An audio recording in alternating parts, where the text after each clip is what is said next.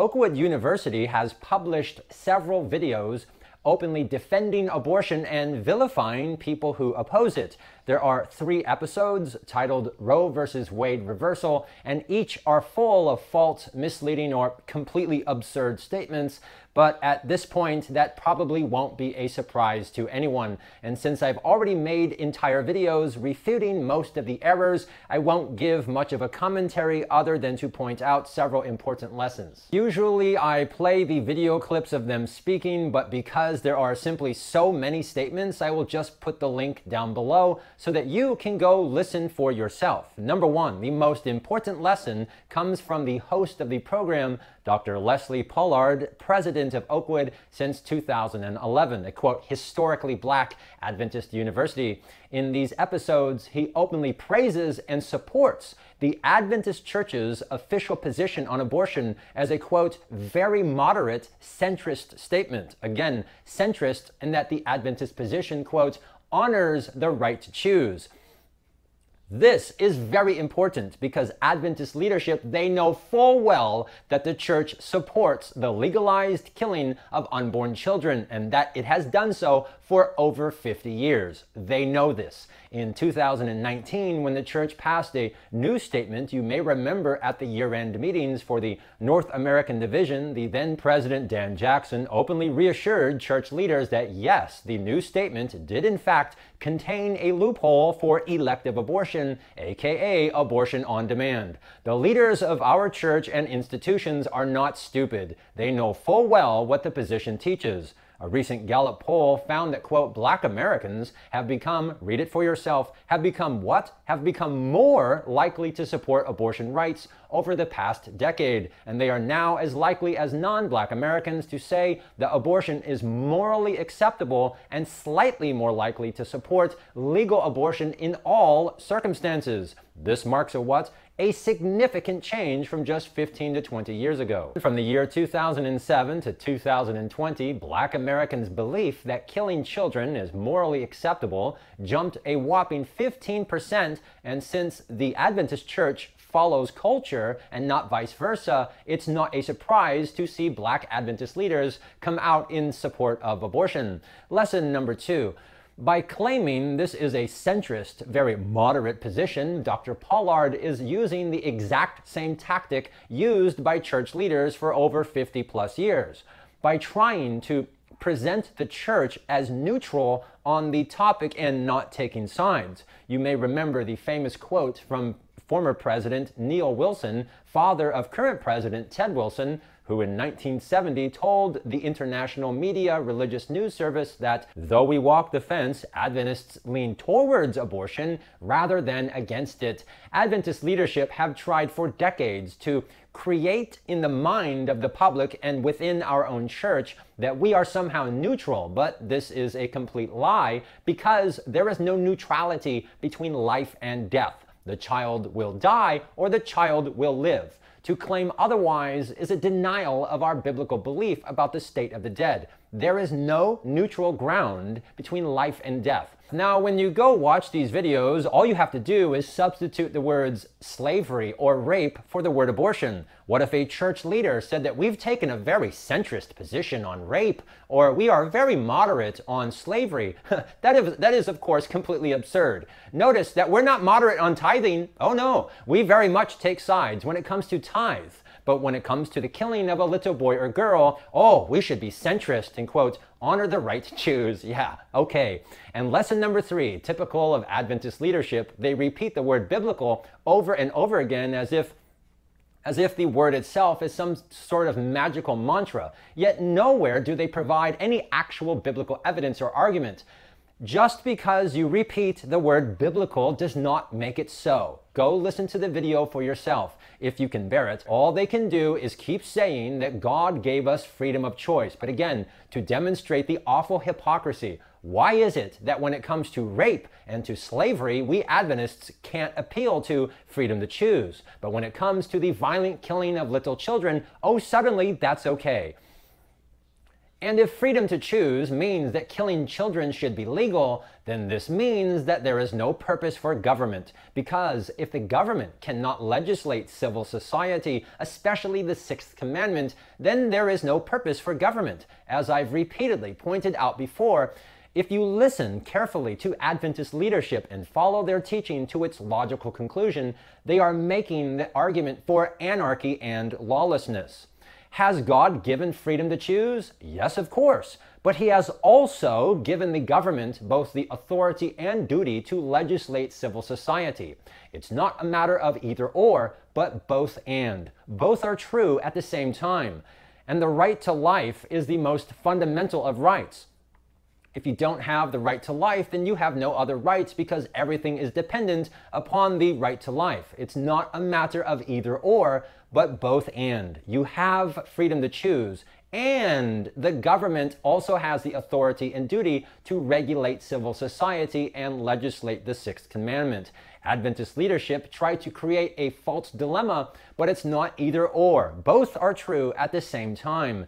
And typical of Adventist leadership, they not only completely avoid this problem, but spend three episodes making completely absurd statements. There are many examples, so I'll just point out a few. This here is Pastor Kimberly Mann, a pastor for the Oakwood University Church, speaking about the decision of the Supreme Court justices to overturn Roe. She complains and says, quote, I matter so little that someone somewhere whose decisions won't even affect them are now going to affect me and my future daughters. The fantastic level of selfishness here is really something that you have to hear for yourself, so go watch the video. She argues that the court's decision is bad because she, as a woman, somehow means so little, but this is just stupid for all sorts of reasons. The most obvious being that her complaint has nothing to do with the court. These three episodes are titled, read it for yourself, Roe versus Wade reversal. And not one single time, not even once, does either Dr. Pollard or any of these pastors or leaders cite from the actual Dobbs decision that overturned Roe. And since they didn't do it, I will. The actual decision of the court reads, and I quote, to be clear, then the court's decision today does not outlaw abortion. On the contrary, the court's decision properly leaves the question of abortion for the people and their elected representatives. Because, as was stated in the decision, the work of the court was to consider the quote, critical question whether the Constitution confers a right to obtain an abortion. This is a matter of legal history and historical facts. To try to frame this as some great disdain for women is false and absurd. And to claim that this will not affect others is just stupid because the right to life literally affects everybody. Furthermore, if this woman pastor is upset that Roe is overturned, then this can only mean that she really believes that the killing of children should be legal which means that according to her, the government does not have the right to legislate civil society, which only brings us back to the previous question. And if she believes the court is wrong, why can't she or anyone else cite even one sentence from the decision or demonstrate why it's wrong? And of course, the biggest elephant in the room is that if Adventist leadership really believed that this was an actual right, they would be screaming from the rooftops. But remember that when the Dobbs decision came down in June of 2000, 2022, they did absolutely nothing except murmur and complain. Our Religious Liberty Department did absolutely nothing to either challenge or refute this decision, which is the biggest, most blatant, most in your face proof that deep down, our Adventist church leaders know very well that the court's decision is historically correct and accurate. Furthermore, Please pay, please pay attention and notice that since the decision, the issue has been thrown back to the states. And do you see our Adventist leaders fighting for this in the states? To my knowledge, they are not because they know. They know that they have no case. And to make matters worse, this same woman in the same episode tries to claim that the SCOTUS decision prevents doctors from saving the mother in a life threatening situation. But this, again, is completely false and absurd. The decision does no such thing. Also, this woman here is Dr. Donna Roper Roach, Director of Curriculum for the Oakwood Graduate School. She also makes the same false claim that this prevents saving a mother's physical life. The amount of ignorance on display here is unbearable. Now, because I personally have been studying this issue so much and engaging with so many people who teach these things, I have over the years become quite jaded and calloused, but even this was hard for me to listen to. The only explanation how someone can make these claims is because number one, you have suffered some type of serious injury to the brain, rendering you incapable of thinking, or because you willfully, purposefully choose not to educate yourself because there is no way that you can read the court's decision and come to these conclusions especially with the abundance of information so freely available. And notice carefully that this series was in September. The court's decision had been published back in June. These people had three months to study this, four if you count the leak.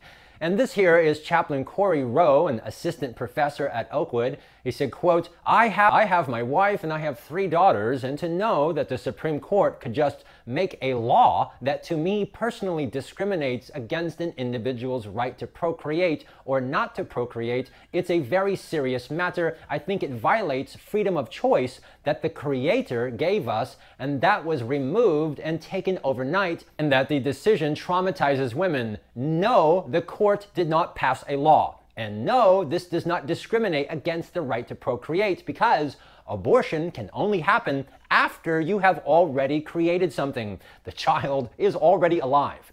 The decision is not to create the child, but whether it's okay to kill it. And how in the world, how in the world can removing the freedom to kill children, quote, traumatize women? Can you imagine if someone argued that slaveholders are being traumatized because they can't have slaves anymore? This is just so stupid. In episode part two, at 5 minutes and 45 seconds, he says that he, number one, wants to be a law abiding citizen, but that laws against abortion are taking away his choice and, quote, creating an oppression on me. So, being a law abiding citizen is good, but passing laws to stop the killing of children is oppression. We have arrived at the point in Adventist history when leaders, without any shame whatsoever, claim openly and publicly that they are being oppressed if the killing of children is not legal. Now, take a moment to really appreciate that. They are being oppressed and victimized if abortion is not legal. This gives an excellent opportunity to cite from Desire of Ages, page 286. Every false religion teaches its adherents to be careless of human needs, sufferings, and rights. Every year, multiplied tens of millions of little boys and girls in the womb are being violently tortured and killed. And Adventist leaders whine and complain that if this is not legal, then they, the leaders, are being oppressed. I know that many of you probably won't want to go watch these videos, but you need to go and watch them so that, or at least one of them, so that you can see and hear this for yourself the level of sickness and depravity and insanity that is on display here is really something that you have to go hear for yourself. And this here is Dr. Howard Weems, Special Assistant to the President for Biblical Foundations, a teacher in religion and director of the Ellen White Research Center. In episode 3, he makes the completely absurd statement that abortion is not a black and white issue of right or wrong, saying, quote, I think we have to stay away from the black and white. It's not a right or wrong, and that there are exceptions for abortion. And go ahead and just guess. To those of you watching this video, please go ahead and guess what exception he cited. Are you ready for this? He said, quote, there are some exceptions. If the death of the fetus, for instance, before birth, you know, you have to extract. This again is so absurd because removing a dead child has nothing to do with the discussion or court's decision. This has nothing to do with Roe versus Wade or Dobbs. It has nothing to do with anything. Removing a dead child from a mother has never been a moral issue. In the last 50 plus years, just within our own church, we have never, ever seen anyone anywhere at any time make the claim that it's wrong or morally questionable to remove a dead child. It's already dead. So to present this as some sort of exception for killing living children, this is completely absurd. This whole series is a compilation of one absurdity and falsehood after another. And what's so terrible about all of this is that this is what we've come to expect. The reputation of Oakwood and our church leadership is so bad that this is what we have come to expect. This is not a surprise. There are many other statements, but I'll comment on one more. In episode 3, Dr. Pollard frames this as a he frames this as a testing truth. And this woman pastor says that how we as Adventists respond to the reversal of Roe versus Wade reveals our hearts. Now, this you have to listen to, so let's listen to what she says. I, I think that the Bible talks about how in the last days, things that we would see, but more so what the hearts of men would look like. And I think more than anything, this is revealing the hearts of men. We have people who say that they're Christians, but are speaking with such vitriol. I mean, physically harming women mm-hmm. who are mm-hmm. trying to seek, you know, proper health care. Mm-hmm. Um, and I think that is more so a testing truth of who we are and who we mm-hmm. say we are and who we believe in um, than mm. maybe even the law itself. So it's a test of what we believe and how we comport and mm-hmm. how we behave and how we treat others. Absolutely. That's the test. So, excellent question. Is it true that how we Adventists respond to the murder and holocaust of tens of millions of children every year, is it true that our response reveals our hearts and who we really believe in? Yes, that is true. We can agree on that point. However, she then says there are Christians who are, quote, speaking with such vitriol and physically harming women who are trying to seek proper health care. So, did you, did you catch the euphemisms? The killing of a little boy or girl is, quote, proper health care. That's okay, but physically harming women who try to kill their child, oh, that's not okay. Remarkably, but unsurprisingly, she didn't provide any statistics or references how often women seeking abortion are physically harmed by Christians who oppose this. According to the CDC, although black women make up only 6 to 7% of the population, they are responsible for over 35% of all abortions. Yet, these leaders here at Oakwood repeatedly claim that the overturning of Roe will, quote, adversely impact black women. Dr. Pollard claims the overturning of Roe is, quote, this is a real quote wreaking havoc on families. Of all the different demographics within the Seventh day Adventist Church, black American Adventists are by far the most supportive of abortion as a general trend. Over the years, and especially recently, I have had many opportunities to interview many black American Adventists on why this is the case, and I will explain that more in detail in an upcoming video, so be sure to see that to learn more. Why black Adventists are so hardcore committed to abortion is very interesting. So again, be sure to watch that upcoming video. There is, of course, much more that can be said, but it will be better to end this video on with a very helpful, important tip. Never, and I mean never, ever say anything overtly political. When you are talking with black American Adventists, especially on this topic of abortion, never say the words Democrat or Republican or Reagan or Hillary or Trump. It is, it is a very common tactic for them to bring this up first and try to frame you as being political because the moment that you say something overtly political, they will use this against you to reject what you are saying always stick with the Bible and the Bible only. Black Adventists know that they will lose if you bring up the Bible, so they will very often try to bait you into an overtly political argument, and if you take that bait, you lose instantly. So if you are talking with a black American Adventist and they accuse you of being political, you have to immediately reject this and say, no, I'm asking about the Bible. I'm asking a specific Bible question. I'm not talking about politics. I'm asking a question about the Bible. Can you please give me a Bible answer why the government does not have the right or duty or authority to legislate the sixth commandment? When they try to play the political card, it's because they are experiencing conviction and they know that they're going to lose and they want to bait you in order to reject the evidence.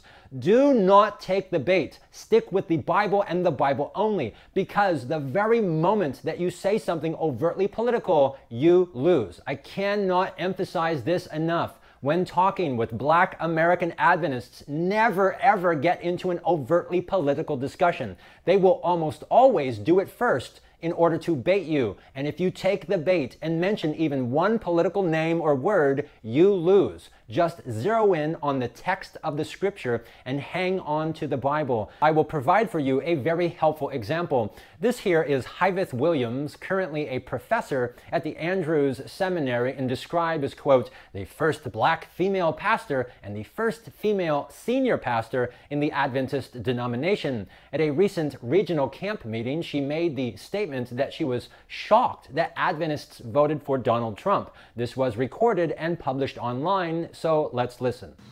And politically, we are conservative. You know, I know this is being recorded, but I must say that I am shocked that Seventh day Adventists support Trump. There is a lot, of course, that could be said in response, but notice the key point. It is an undeniable fact, documented repeatedly, even in the mainstream news, that abortion is a key issue, or sometimes the single issue, why many voters decide on candidates. And this is true not only for pro life, but also for those who support legalized abortion. When Roe was overturned, the New York Times reported here that, quote, Interviews and exit polls showed abortion rights was a top issue for many voters, even across party lines. Notice very carefully that black American Adventists like Williams here will display shock and disgust at the idea that Adventists would vote for someone who promised to overturn Roe. Yet she makes no attempt to intellectually engage with and refute the reason why so many did so. And of course, she can't, because the whole teaching that the killing of little boys and girls should be legal is a complete fraud and doctrine of demons. In this series here, they also vilified and condemned a statement made by a very well-known influential Adventist, but I will address that in the next video, so stay tuned. Thank you for watching, and as always, have a nice day.